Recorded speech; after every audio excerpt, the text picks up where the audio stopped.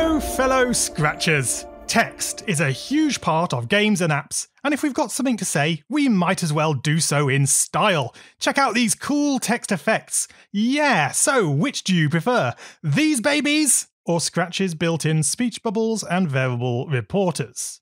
Yeah, it's no contest. What you need is a Scratch text engine. And what exactly is that? Well, basically, it's a Scratch sprite, absolutely chock full of costumes. Wow, so many. Throw in a few clever Scratch scripts, and boom, super cool text. But text engines are well known for being time consuming and tricky to get right. Well, then you've come to the right place, because I've spent literally days on your behalf trying to make the best tutorial I could. So stay tuned to find out how we're going to import your dream font, the fastest approach to splitting costumes, clever tricks to measure costume sizes, and of course, the awesome text engine itself. There'll be no stopping us then. Just look what I've been building with it. Yeah! Are you excited? I certainly am. So, what are we waiting for? Let's get scratching! So, where do we get these awesome fonts from? Well, there's plenty of options, and I'll present you with my top four. You probably know that Scratch has six fonts built into its costume editor. Option 1 then is to use one of these as the basis for your font engine, and it sure is the quickest and easiest font to import.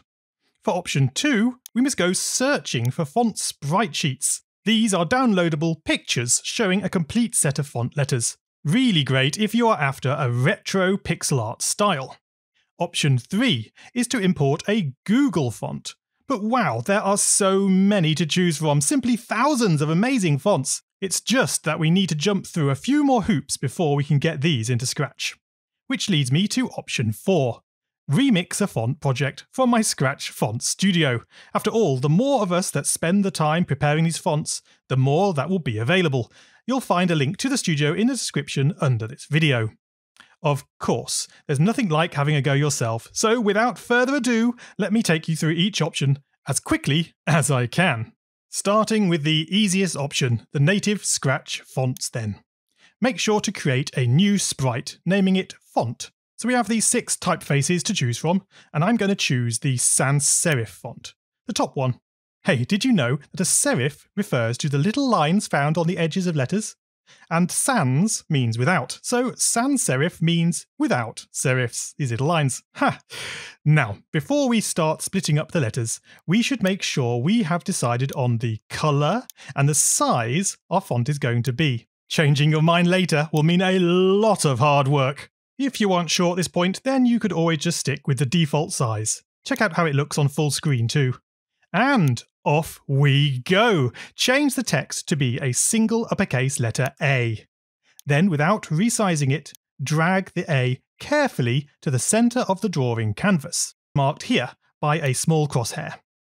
And if we zoom right in, really close, so we can be super accurate in our positioning, drag the A so that the bottom left corner of the letter ends on the central crosshair. You'll note the bounding box of the A actually goes below this point. Ignore that for now. It's the baseline of the letter A that we are concerned about. Cool. So with the A positioned, we can change its name to be a capital A too. Perfect. That one's done. So on to the next. Duplicate the costume, and with the text tool, change the A into a B, and consequently rename the costume to also be called B. Right, are you getting the picture? Duplicate the costume, change the letter, change the costume name to match, and repeat. Over and over and over. Finally, we reach Z, and we can pause for breath before beginning work on the lowercase letters, starting again at lowercase a.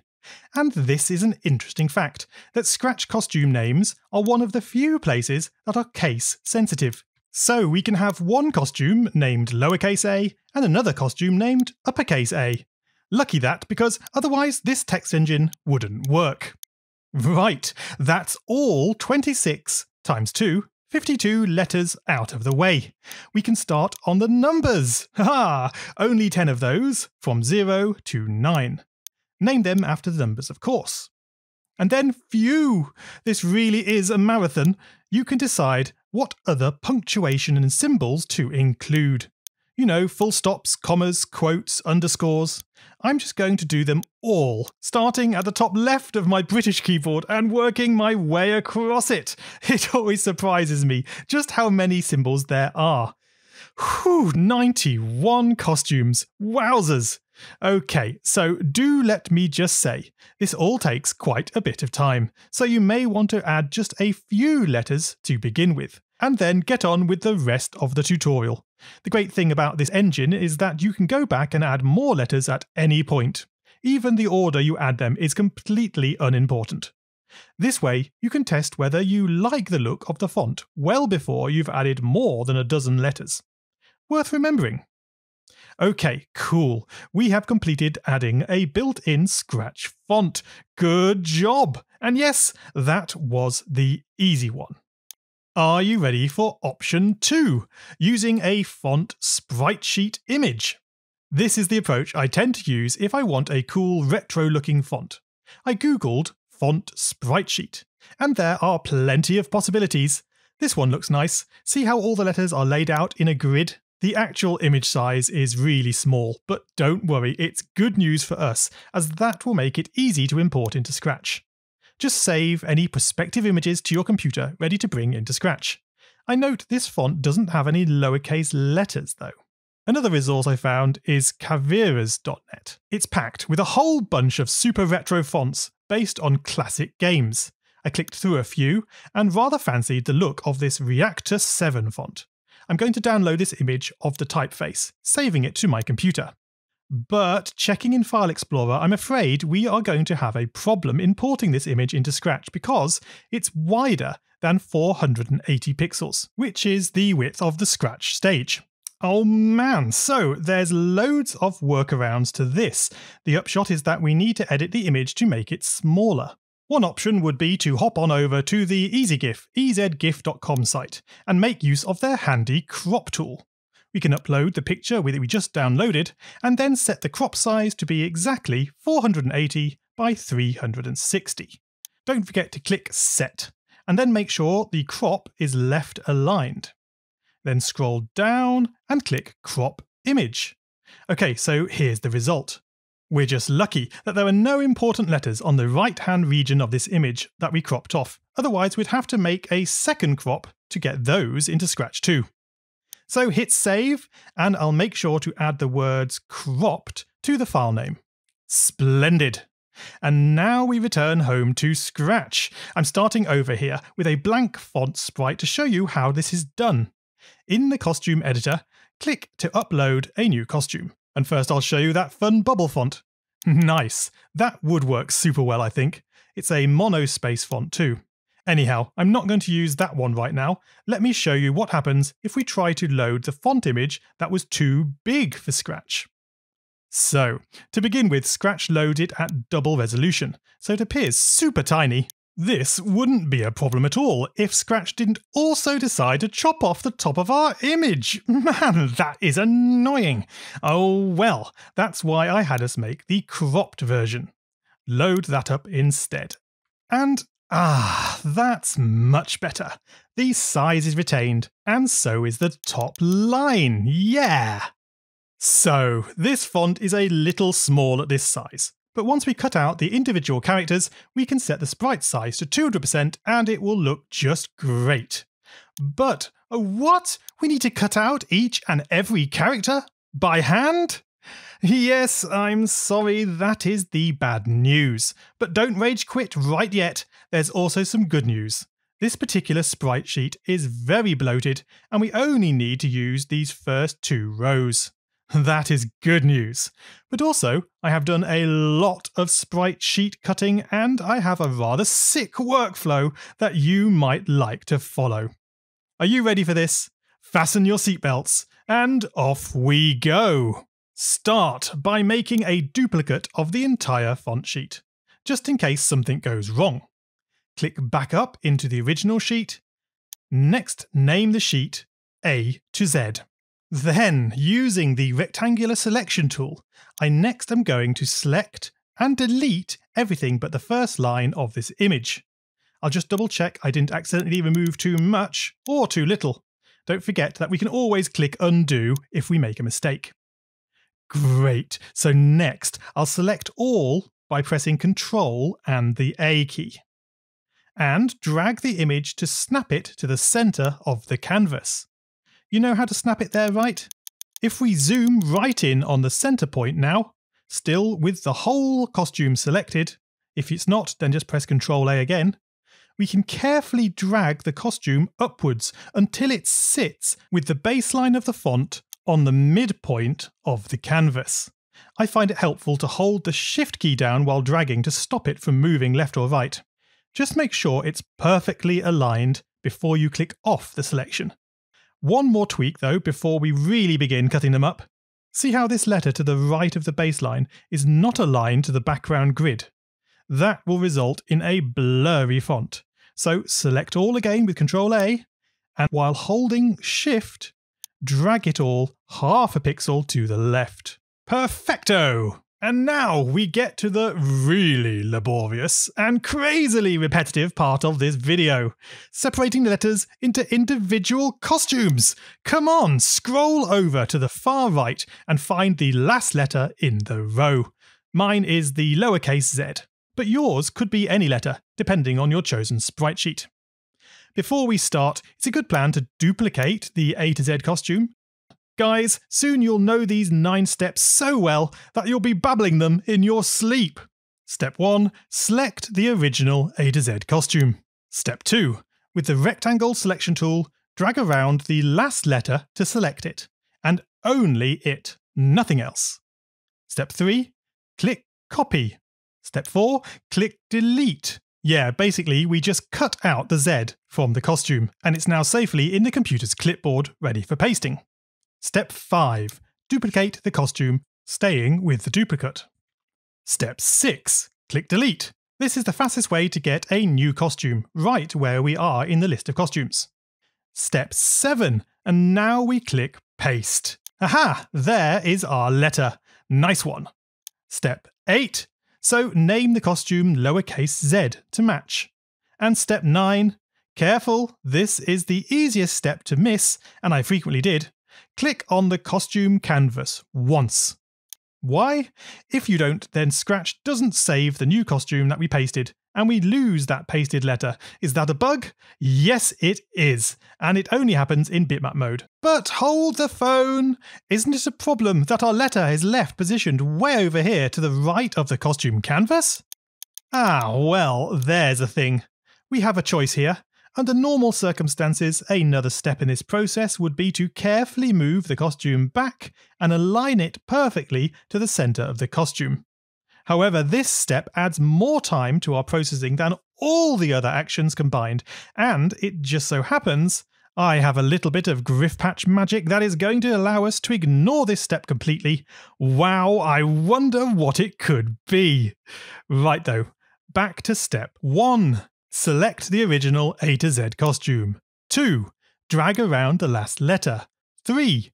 Copy. 4. Delete. 5. Duplicate the costume. 6. Delete. 7. Paste. 8. Name the costume lowercase y. 9. And click the canvas. Again, select A to Z. Drag around the letter. Copy. Delete. Duplicate the costume. Delete. Paste name the costume, and click on the canvas. Of course, by the time you've done this a few hundred times like me, you too might be driven slightly around the bend, but at least you'll be a master of cutting out costumes. Oh my, there's nothing like having the end in sight. And phew, we made it! The last letter in the row doesn't need copying or deleting, we just name it A, and it's done. Oh, after finishing a row, we can just check down to ensure everything looks good. Oh no, what? Where is our capital R? Ah, you see, I told you we all make mistakes. I mustn't have clicked on the costume after renaming it. Well, no problem, as long as we made that duplicate of the A to Z costume, it's down at the bottom here. All I need to do is find the letter R, select and copy it, and then scroll back up to find the R costume, and we just tap paste. And phew wee, that saved our bacon. And all the other letters are accounted for. Nice. So, are we done? Come back to the original font sheet. Ah, uh, no, we still have the numbers and punctuation symbols to split up. In times like this, you just gotta pretend you're a robot and go into autopilot, right? Okay, select and delete the top row, they at least are all done, and then carefully remove everything below the second line. If you make a mistake, you can always click undo or re-import the original picture, and then trim off any characters you really don't need. That cuts it down a tad. So do you remember what we need to do next? Yeah, we align the baseline of the letters to the middle of the canvas, position the costume with its baseline just sitting on the central line. And lastly, before we start splitting again, oh joy, we need to just nudge the entire line over so that the pixels align with the editor grid. There, that's perfect, and we are ready to roll. Wish me Godspeed. The nine steps to costume happiness, more like the nine steps to Griffpatch madness. Woohoo! And we are done. Yes, yes, I'm so psyched. Oh man, wow, what a ride. Seriously, who would do this? We must be so dedicated to Scratch. Now, I'm obviously a glutton for punishment because there's a third source of fonts I'm going to let you in on. The good news is that the splitting process is all but identical to the bitmap one, so we can skip over that a lot. The third source is Google Fonts, found by visiting fonts.google.com. And wow, there are so many just amazing fonts on there. Thank you, Google, for this outstanding resource. But how do we get them into Scratch? So let's choose Google's very own Roboto font. Now, there's many ways that you might get this into Scratch, but let me show you my current favourite. If I search up the page Google font to SVG path, then that will bring us to a website of the same name. A link is, of course, in the description under the video. This site is able to take a font and convert it into an SVG, a vector image. So simply find Roboto in the list of fonts, so we don't need to upload anything. Set the font weight, regular will do. Now the default size is rather large, let's go with a size of 20. Next click on Separate Characters. That will help us split up the font later on. We must remember to set the stroke width to zero, otherwise the font will have an extra outline. Finally, we write in the text box the letters we want to convert. Start with all the uppercase letters from A to Z. And then click Download SVG. The file will save with the name ABC, etc., and that's fine with me. Next up, we write the lower um, the lowercase letters, silly caps lock. Again, we download the SVG, but just be careful not to save over the previous file. Lastly, we want the numbers and any punctuation and characters, full stops, commas, underscores, brackets, all those. When you download this one, you'll probably need to change the file name to get it to save successfully. Great! We can spin up Scratch with a once more empty font sprite and upload the first SVG font image. Nice! At size 100 it looks pretty sweet. And now the process of splitting this up is going to be all but identical to the 9-step system we used for splitting up the bitmap font. We begin by zooming in because we need to adjust the text baseline. Now all these letters are separate from each other, that's going to be useful later, but right now, select all using Ctrl A, and then drag carefully upwards onto the midpoint line. Trying to line letters up horizontally is actually rather pointless in vector mode, so you might as well skip this action. Anyhow, with that done, all we need to do is follow the same 9-step routine from the bitmap font, so we start by duplicating the costume, just for safety's sake, and off we go. Just this one time, I promise. Select the original costume, 2. Click on the last letter. 3. Copy. 4. Delete. 5. Duplicate the costume. 6. Delete. 7. Paste. 8. Name the costume uppercase Z. And 9. Actually, in vector mode, you don't even need to click on the canvas, so I guess it's only an 8 step process. Nice! And that is it. Repeat, repeat, repeat! Do you have any idea how long I spent recording this episode for you? If you want to take a stab in the comments under this video, then have a laugh. Yeah, the things I do for you guys. Once you've done all the uppercase letters, We then upload the lowercase, work through them, and then the numbers and punctuation. There sure is a lot of them, but in the end, we are done. If you made it this far, then fantastic, because this next bit is quite fun, because we finally get to do some coding, yay! Although we have our font costumes all separated out, we don't yet know how wide each costume is, and we will need that before we can actually place letters next to each other. Now, it's common practice to create a list for these widths and manually go through each costume recording these widths into that. Yes, we could do that, but what if we could calculate the widths automatically? That would sure save time. Any idea how we might do that? If you don't know already, then see if you can guess before I finish explaining this clever Scratch trick.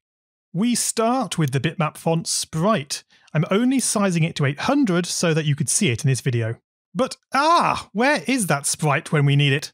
Ah, there it is. Scratch has fenced it into view, ensuring it never goes fully off screen.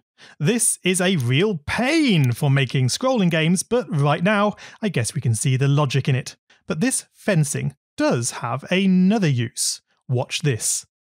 Bring in a setx block. Uh, hey, what? Such a tiny block. Oh, hold on. Yeah, set this sprite x's position to negative 9999. And of course, rather than going way off screen to the left, the sprite is fenced in and is just visible on the left margin. So next up, we'll repeat until we are not touching the edge of the screen, while slowly moving it back to the right with a change x by 1. Run that, and the letter slides expectantly into view. Cool, because if we can align a costume to the left edge of the screen, then moving the costume half a screen width to the right, change x by 240, that will end with the sprite aligned from the midpoint of the canvas. Haha, that doesn't tell us how wide the costume is, but it does do something else. Remember how when splitting up these costumes we skipped the step where we brought them back to the centre?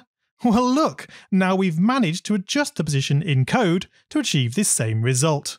We can check it out for the letter W, which is far off to the right instead. And yep, it still finds its way to the middle of the screen. Super! We should make a record of this position then. Make a new variable, naming it uh, XX for this sprite only. Then set XX to the current X position recorded.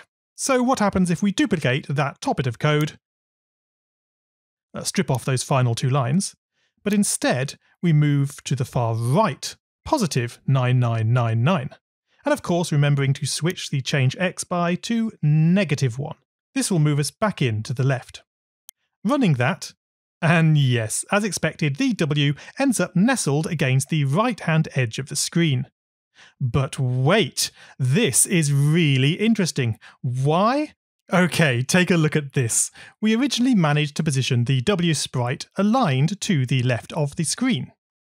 Then we added 240 to position it offset from the middle, recording this position in the variable xx. Can you imagine where this letter would be if we added a further half screen width to it? Well, in theory, that would take it all the way to just off the right hand edge of the screen. And this is exciting because if we compare that position to where we just ended up, can you tell me what the relative distance between these two letters is?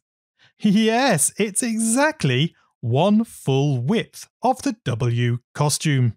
That means we can now calculate the width simply by taking the left position away from the right. That is, xx plus 240, subtract the new x position. And apparently this w has a width of 64. Wow, cool! Let's try a thinner letter. How about a J? Run the measuring script. And 24. Yes, that sounds right. And so, we found a way to successfully measure the width of our costumes. Our next job then is to automate the measuring of all the costumes in the font sprite. Let's begin with some initialization. When green flag clicked, switch costume to A. And then set size to 200. That's a good size for this pixel font. Now to ensure this all runs nice and fast, make a new custom block. Calculate letter sizes. And of course, tick to run without screen refresh. We're going to need to use lists to store our font data. The first is named underscore width. I use underscore to mean it's a special list of data that is not going to change once set. Then ensure it starts empty with a delete all of underscore width. The next list is named underscore offset x. Again for this sprite only. And again, we delete all from this list too. So we need to loop through all our costumes. But how do we tell Scratch how many costumes that is? Another trick then. Switch costume 2. And now the first costume number is costume 1. To ensure Scratch knows this is a number and not a name, I'll use the maths round block here. But rather than setting it to 1, put a 0 in there instead. What? Yeah, this is cool. If I run that, check out which costume it actually selected. The costume before the first costume is the last costume. It wrapped around. Cool. Costume 94. So now we know how many costumes we have. 94. Therefore, we repeat for costume number. That's 94 times. One for each costume. Perfect. Now, not forgetting we are still set to the last costume, place a next costume block as the first block within this loop. Now, as we go around, we'll progress on through all the costumes. Set Y to 0. We must be far away from the top and the bottom edges of the screen for this to work. Next up, with an if-else block, drop in an equals. What is the length of, now not the costume number, but the costume name of this sprite? Okay, it's 1. Why do we want to check if the length is 1? Well, all letter costumes have to have a single letter as their name to work. A, B, C, so any costume with a name longer than one letter can be ignored. Cool. Now we get to drop in our costume measuring script from earlier put it in the then branch of this if. Next, we need to ensure we record our costume size and offset data in the lists. So add the variable xx to the offsetx list. This is the offset to bring the letter into the center of the screen. Next, we're going to add to the width list, and that's this little beauty here, the xx plus 240. Subtract the x position giving us the calculated width of the costume. Splendid, we are nearly there, guys. What about the else branch? This is here for any costume that is not a letter. In that case, we just can't ignore them, as the list needs to account for every costume so that the list item numbers match with the costume numbers. So we just need to duplicate the two adds, but change them to just add blank values to our list. That will do just fine. Wow, this script has got quite long, really. I hope you got it all. It's about time we gave this a run. Just scroll over to the when flag clicked hat block and drop in a call to calculate letter sizes. Awesome. Here we go then. As you can see, we have these two empty lists ready to be filled with values. So click the green flag. Oh yes, this is looking really good. Both lists have 94 items added to them, and the figures are looking, well, from what I can tell, in the right ballpark. You'll note that costume 1 was not a real letter, so that's why it's been set to blank, and we do have the full 94 costumes. So, oh yes, finally it's time to begin building the actual text engine. Woohoo! Now we are going to need to be able to switch costumes to a letter. I'll just pick any letter. And then look up its width and offset. Well, here's the offset X list, but how do we go from costume to list item? Costume H is costume number 9, so looking in the list, item 9 gives us the offset for that letter. In that case, we can just use the costume number. Yep, that's 9, and squidge it into the item block here.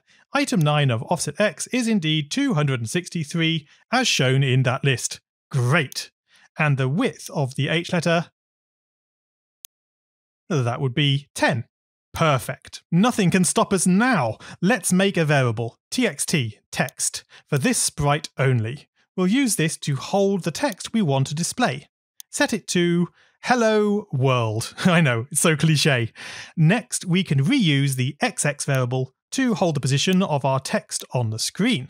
Set it to 0. The y position, we can just use the set sprite y to, yeah, 0 as well. So we need to loop through the letters one at a time. We'll need another variable to keep track of our progress. Name it simply i for index, for this sprout only. Did I say sprout? We're going to set i to 0 before entering a repeat loop, and we repeat for the number of letters in our text variable. Length of the text variable. Right away, we can change i by 1. So i changes from 0 to 1, ready to process our first letter. We need to switch to the letter's costume, and we can get the name of that costume using the letter of block. On the right, drop in the text variable, the text we're trying to display, and we want the letter at position i. Now this is funky. If we run that script, you can see it rushing through the letters of Hello World, but the letters are all over the place. But not to worry, that's what the offset list is there to fix. Set the sprite's x position to, and then we need an addition block. And the position we want to display the letter is at uh, xx, which at the moment is 0, the middle of the screen. But to account for any misalignment, we now need to add in the costume's offset x. Hold on, we have that just up here. Item costume number of offset x. If we run the script again, now we can see that all the letters are nicely appearing in one location. Well, that is much better. Can you sense victory? It's coming. I can almost taste it. At this point, we have a decision to make. Once we switch to the required letter and have it positioned, we need to leave it behind before moving on to the next letter. To do this, we have two options to create a clone or to use the pen extension to stamp it onto the pen canvas. For now, we'll use a clone. The benefits of clones are that they look much nicer for vector fonts, but also they are easier to have appear in front of everything else in your project. The downside is that they use up lots of our valuable clones, so this can be a real humdinger of a decision to make. Right, the first letter sprite is cloned, but we need to move XX to the right, by the width of the current letter. Easy! Change XX by the item costume number of width list. Okay, are we there? Smash that um script. Right, this is looking a bit messy. Shouldn't there be a little bit of space between letters? I guess we forgot to account for that. No problem. Come back over to our calculate letter sizes script. Down here, where we record the width of each costume, we'll add a small amount extra to account for the spacing between letters use an addition block to add an extra 2 pixels. Click the green flag to recalculate the font sizes, and then try running our display script again. Oh man! Still not quite the perfect text engine we were anticipating. I spent a lot of time looking into what the problem was, and the answer turned out to be another Scratch bug, or at least a quirk. As we increase costume sizes to 200 and above, the touching blocks start to misreport their collisions, leading to our clever sprite size measurements being less accurate. As such, we will have to try adding 4 to the width instead to mitigate this issue. Run the project and click our display script. There, and that is much more like it. Perfect spacing. Yes! Hey, what's up with this O in the middle of my hello world? That should have been a space, right? It's showing as an O. Because that was the last letter before the space, and the costume didn't change. And why not? Because letter 6 is a space character. And we don't have no space character, boy! What I suggest is that we make one. I'll just repurpose this first costume 1 and rename it as a single space. There, yep, Scratch is fine with that too. If you don't have a costume 1 free like me, then just make a new costume and name it space. Doesn't have to be costume number 1 for this to work. However, there is another problem. How wide is an empty space character? Hmm. If the costume doesn't have a width, then we aren't going to get much of a space between our words. So, just how wide should a space be? I seem to remember someone telling me that it should be the width of the letter O. Well, in that case, let me copy the costume of letter O and paste it up here in the space character sprite. Run the project and click that display script again. Yeah, okay, it's hard to tell if any of that worked since it was already showing an O in the place of the space before. Let me just paint it red. Yeah, there, now we can see the difference. Good. Of course, we don't want this red O to remain visible, and in fact, why are we wasting a clone on this anyhow? So to kill two birds with one stone, let's skip doing that. Drop in an if block right after switching costumes. But carefully move the change XX to outside this if. We still want to have a gap even if we don't want to display the space. The condition is not equal comparing the costume name to a space character. If the costume name is not a space, then set the X position and clone. Perfect. We don't need to recalculate the font sizes, so just hit the stop button to remove all the clones, and then click the display script again. And yeah, baby, hello world. Not bad at all. If you want less space between the words, just reduce the width of that red O. And we can write any text we want, even include the current Scratch username. That will be handy. Now, you may have noticed that the letters are appearing a little slow on the screen. Well, this is something you may like, or you may need it to be super quick. Either way, let's make a new custom block to wrap this all up in. Name it Write, with an input, text, another label, at X, an input, X, and one more label, Y, and another input also named Y. Cool. I'm going to try running without screen refresh. We can attach that define block to the top of our script. And now we just need to plug in all these inputs together. We'll set txt text to the text input, and we'll set xx to the x input, and finally set the y position to the y input. Shall we test this baby out? drop some text into the left-hand input of the new write block, and position it at 0, 0 for now. Finally, before we test this, we should deal with how to clear away the previous text clones, otherwise we'll keep writing one on top of the other and in the end run out of clones. We'll use a when I receive block with a new message named clear font letters. And all we do in here is delete this sprite. Simple. Then, before we write out our new text, we broadcast clear font letters. Let me just move this over to the left, setting x to negative 100. And now to see it work, click the broadcast and write script.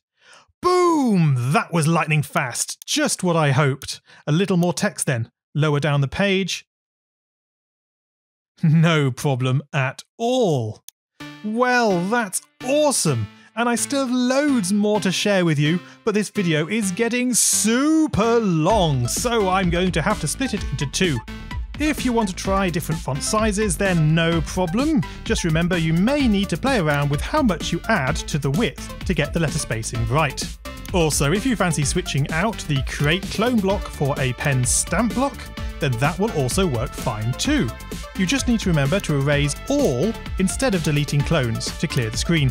Anyhow, I'm rushing to the end now. I do hope you've had fun watching me spend countless hours cutting out letters, but the end results are going to be so worth it. I can't wait to see what you guys have made with this. Don't forget to submit your projects to the studio linked in the description under the video. The next episode will stretch what we've done here to amazing new heights with word wrapping, dialogues for my RPG, and more. So if you haven't already, subscribe to this channel so as not to miss my next exciting episode. Oh yeah, and please smash the like button too, so that more people get to enjoy the video.